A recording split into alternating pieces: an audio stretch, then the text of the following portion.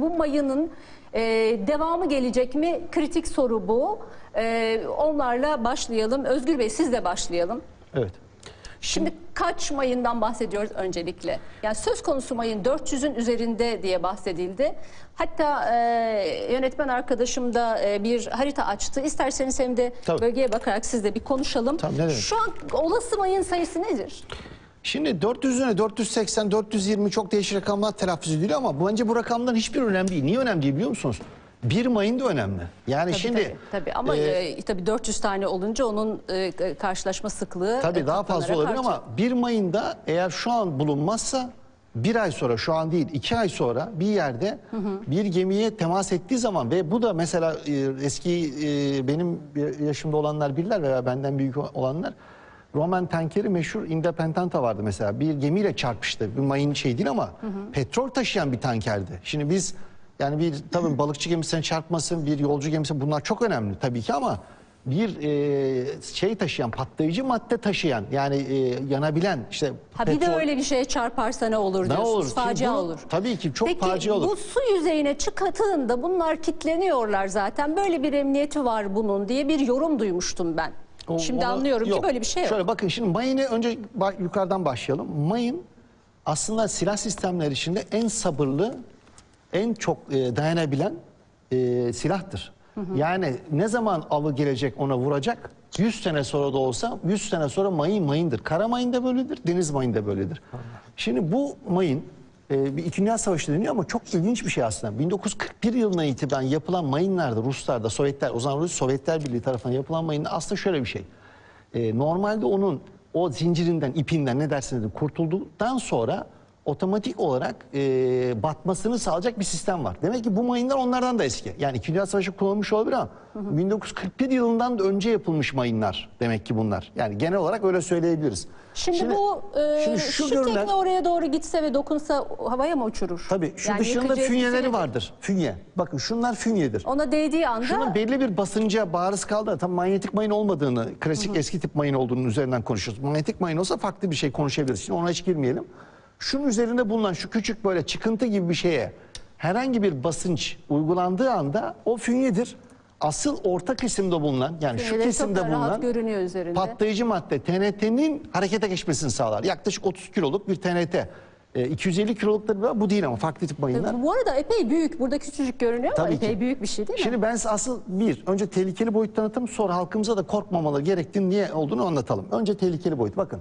Dediğiniz gibi çok küçük bir mayın değil. Şunlar bakın fünye. Bu ilk patlayıcıyı yani buraya in- indirgeyen, buraya ana imla hakkını patlatan bölüm. Şimdi burada asıl kritik konu şu.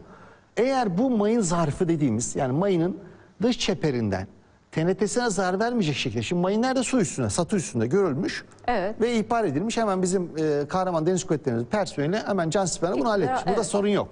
Peki eğer bu mayın zarfının içine biraz daha su girip 5 metre altta olsaydı bu Orada işte bak yürüyecek göremeyeceğiz. işte o sıkıntı orada. Yani işte deniz kuvvetleri tabi burada olsa e, bunu ya altta da olsa sonarla bir şekilde yakalarlar ama işte burada benim söylemek istediğim şey şu. Bakın bir mayın da tehlikedir. Yani 400 küsurat mayının üzerine konuşmamıza gerek yok. Şimdi bunlar yavaş yavaş Karadeniz'deki eğer ha şunu söyleyelim. Ukrayna bu mayınları döşeyen ülke Ukrayna. Şimdi Ukrayna'nın bize buradan kaç tane mayın boşa çıktı? Bir kere bunun bilgisini vermesi lazım. Bu önemli.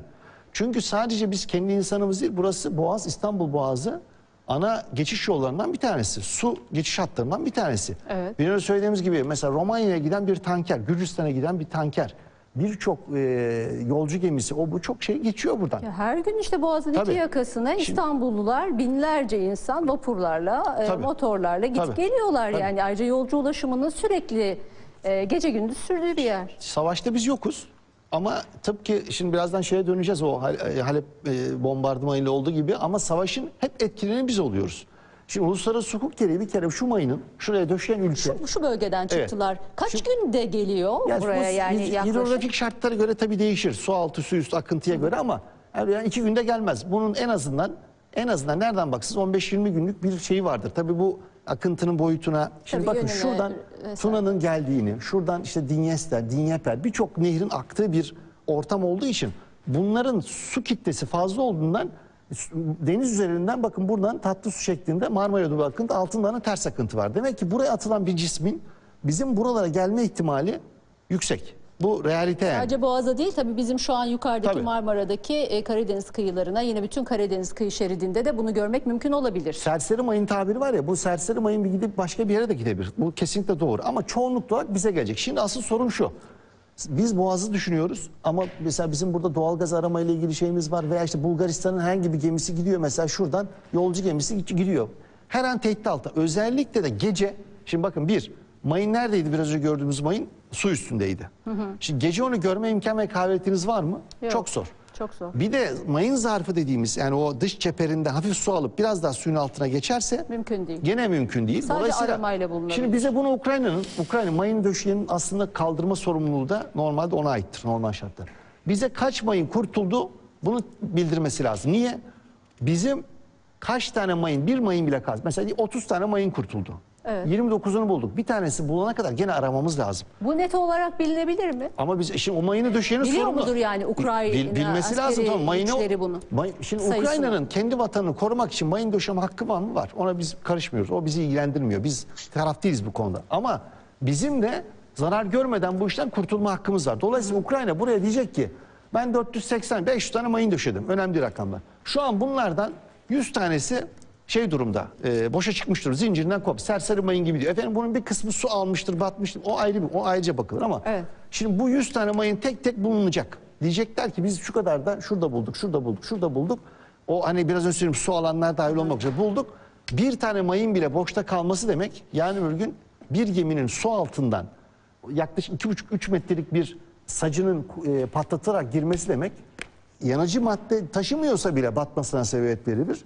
Yanıcı madde taşıyorsa zaten büyük bir faciaya sebebiyet verebilir. Peki sorumluluk kimde? Yani Ukrayna'nın alması gerekiyor. Savaş gerekçesiyle bu konuda e, sorumluluğunu yerine e, getirmemeyi şu an hukuksal, çünkü hukuksal sorumluluk onda. hukuksal sorumluluk onda ama e, risk altında olan Türkiye ve belki başka ülkeler ortak bir ekip mi kurulur? Sadece Türkiye mi? nasıl bir bir Karadeniz dışındaki insanların yani ülkelerin buna müdahale olmasına gerek yok. Bir Evet. Türk Deniz Kuvvetleri bütün bunları mayını bulup etkisiz hale bakın mayını patlatmadılar bile bizim e, satlar saslar hemen o anda Evet. etki, fünyeleri falan çıkartmışlardır. Ne mayını incelemişlerdir ne zaman yapılan dair.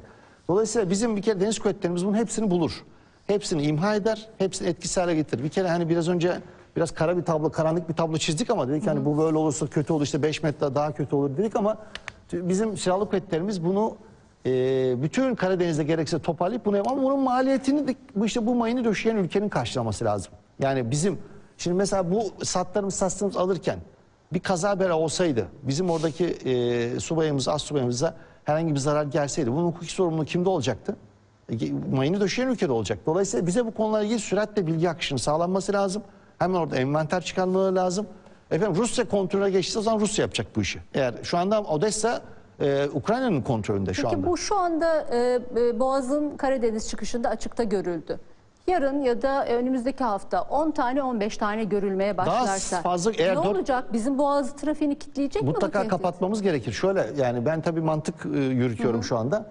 Bir kere gece e, trafiğini kesin kapatmamız lazım.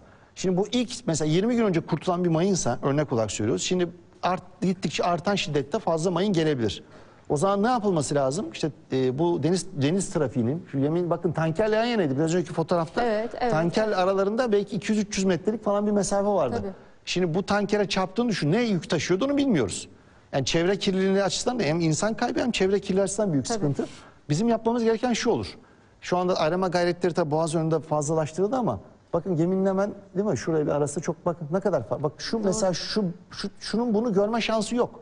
Yani şu burnun ucunda bunu görme Yakıt, şansı yakıt yok yani. taşıyan bir e, tanker olabilir. Ona Çok büyük facia Hem, olur. e, e, Çevre kirli olur. hem Şimdi- insan kaybı hem de bir, de Boğaz'da bir Şimdi biz gündüz bir kere felaketi. kontrollü olarak e, geçişe izin veririz eğer bu sıklık artarsa. Bu arada deniz kuvvetlerimiz bu e, boğaz önündeki e, hem havadan hem denizden arama gayretlerini arttırır. Onları bir şekilde mutlaka bulurlar ve etkisiz hale getirirler. Ama bunun işte kaç mayın olduğunu derken ben özellikle altını çiziyorum. Yani kaç mayın var? Yani 50 tane mayın buldunuz. 51 ise 60 tane buldunuz. 61 ise yani o bir mayın bile tehdit. O bir mayının bile imha edilmesi lazım. Aksi takdirde e, bir faciaya yol açabilecek bir konu olabilir. Ama vatandaşlarımız korkmasınlar. Tekrar söylüyorum deniz kuvvetleri hem teknik hem eğitim faaliyetleri itibariyle bunları etkisiz hale getirecek imkan ve kabiliyete sahiptir. Türk